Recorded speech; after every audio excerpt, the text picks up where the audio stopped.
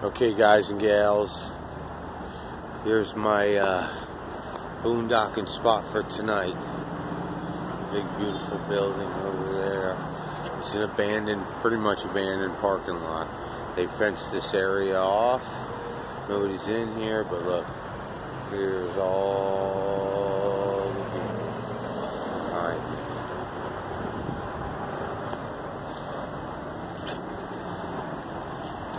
And the reason I know that this is a good spot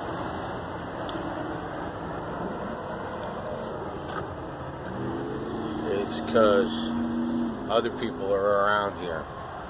They're all sleeping in their car. I uh, I hit the roof today with another coat of Elastomeric. Don't mind the soda bottle. I was thirsty. And uh, all the parking. For all the parking. Yeah. And me and the Bigster. Bigster. Bigsters. What's up, buddy?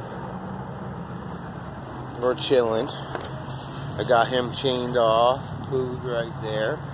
I got some food I'm going to prepare in a little bit. Some sodas in my cooler. And uh, I got a chair. And uh, I put my feet up. Oh, here comes the city bus. Bus, bus, bus. The city bus.